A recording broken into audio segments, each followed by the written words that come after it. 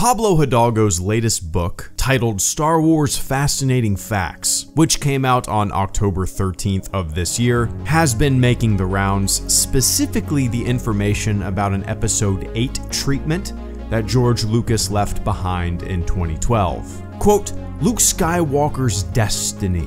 Years before The Last Jedi began development, the treatment left behind by George Lucas in 2012 also had Episode 8 be the one wherein Luke Skywalker would die. Close quote.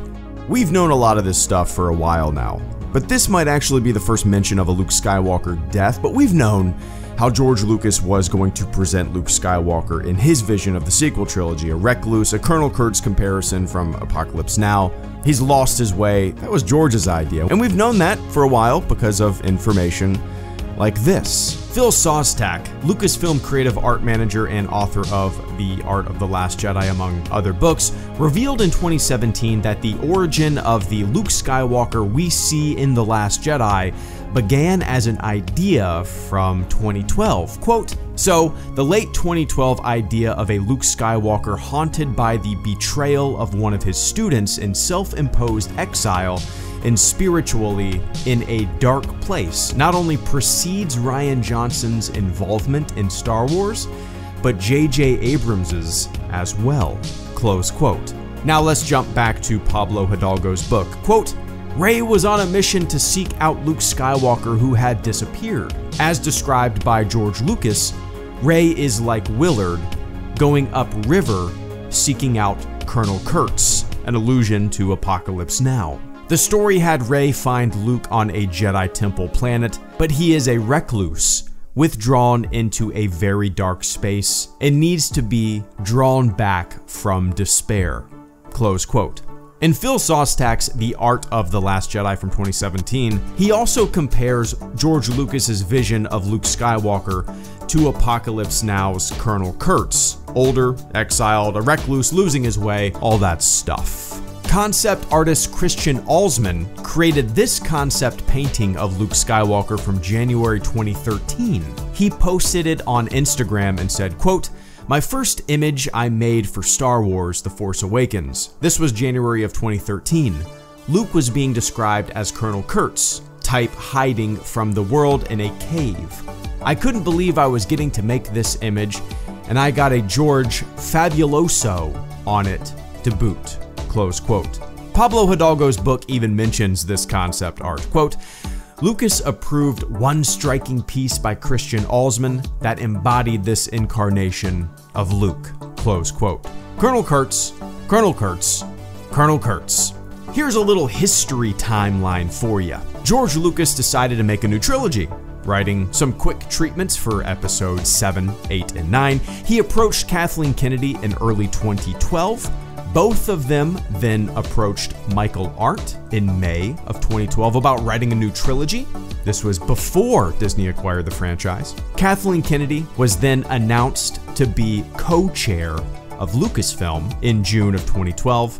Disney then buys Lucasfilm a few months later in October of 2012. Kathleen Kennedy is then announced as the new president of Lucasfilm, and around that same time, Michael Arndt turned in the 50 ish page treatment for the new Star Wars trilogy, which CEO Bob Iger called a quote, pretty extensive and detailed treatment for what would be the next three movies, the trilogy, close quote. Now let's quickly jump back to Pablo Hidalgo's book real fast, aka Rey, quote, the Force Awakens' long journey from idea to finished film was filled with evolution, but one idea that remained constant from the start was that of a young woman's quest to become a Jedi Knight. In George Lucas's original outline, she was a 14-year-old girl named Taryn. In his subsequent iterations, she would briefly be named Faye and, believe it or not, Winky. When writer-director J.J. Abrams came aboard, he simplified the names to placeholders. Kylo Ren was the Jedi Killer, Faye became Sally, Finn was called Harry, and the character that would be Poe was John Doe. As the film neared production, Sally became Kira, then Echo, and finally Rey. Close quote. There's no question that what we got was probably, definitely, way different than what George's original treatments were like, right? Things change. It's not surprising. The franchise literally changed hands. There's no question that most of George's big and small ideas were changed or outright thrown aside. But it's also safe to say that some of his ideas did show up. There's no question that some of his ideas were adopted to what would ultimately become the sequel trilogy. And what's really interesting to me is that it seems like the idea that has caused the most controversy or anger or whatever you want to call it among fans was actually George's idea. Luke Skywalker, a recluse, lost, Colonel Kurtz, in despair, haunted by a student who betrayed him, in self imposed isolation. This was George Lucas's idea. And since my first review of The Last Jedi in 2017, I have expressed how much I loved the way Luke Skywalker was presented in that movie. And it was Lucas's idea, and we've known that for a few years now. So the narrative that's been dripping like a diarrhea asshole over the past few years that this guy somehow assassinated the character of Luke Skywalker is dumb and false. We've known this for a few years. I mean, this is a, a, great example of somebody just being a punching bag for a bunch of people who didn't like a thing. I mean, it's, it's blatant.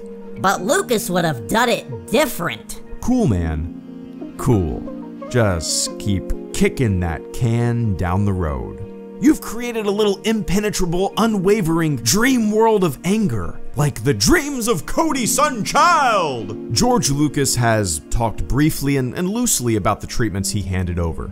Not too much is known, but what we know is he talked about a grizzled Luke Skywalker training a Padawan named Kira and how it would have gone deeper into the world of midichlorians. And then we get a little more insight through Bob Iger in his memoir, and he expresses regret for how the transfer was handled. Quote, George knew we weren't contractually bound to anything, but he thought that our buying the story treatments was a tacit promise that we'd follow them.